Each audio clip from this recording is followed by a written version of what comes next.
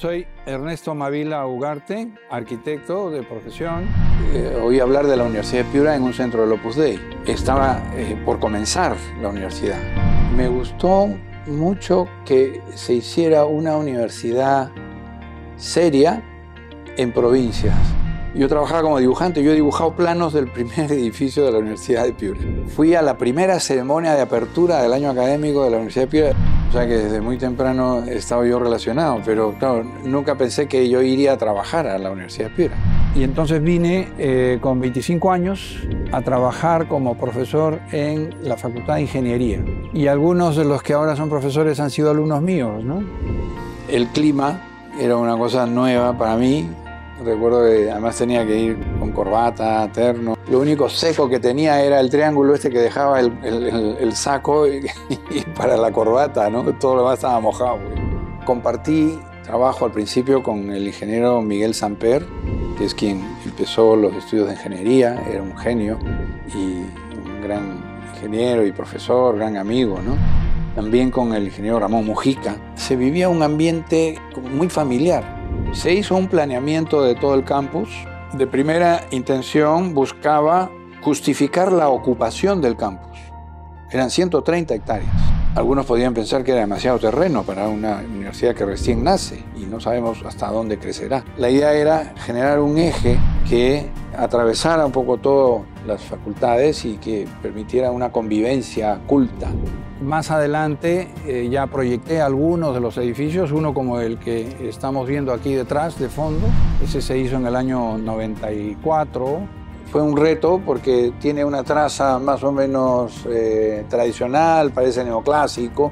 El arquitecto siempre le tiene cariño a, a sus proyectos, ¿no? porque son como hijos que, que, que, uno tiene. La ermita es uno que costó, digamos, imaginarla y, y, configurarla. ¿no? Después hemos hecho la escuela tecnológica, que después ya dejó de ser escuela tecnológica. La cafetería última, la nueva, interesante, el techo es como un enjambre de fierros. Queríamos hacer una especie, un remedo del bosque, del algarrobo, con, con esas ramas que se cruzan y forman un espacio. ¿no? Por otro lado, yo conocía al Opus Dei y conocía al fundador y, su mensaje. Ese mensaje estaba de alguna manera en la base de toda la formación que se iba a impartir y que tiene que ver principalmente con la formación humanística integral.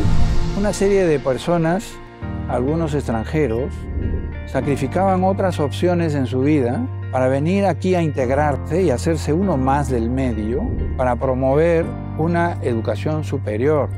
La gente, eso me atrajo a mí.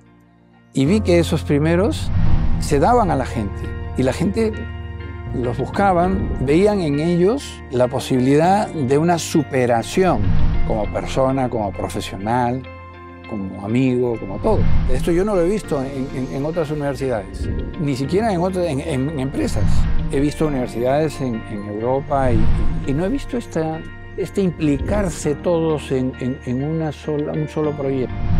Lo primero que tiene la Universidad de Piura como una ventaja competitiva es que tiene ideario, o sea, tiene una axiología. Y ese proyecto empieza por tener un, deseo de coherencia con la fe, como proyecto universitario, como proyecto humano de formación en general y de desarrollo de una región.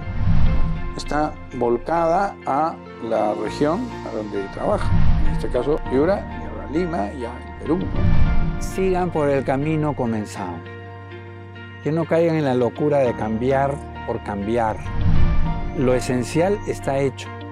Lo accidental puede cambiar, puede evolucionar, mejorar, esto, lo que sea. Pero lo esencial está hecho.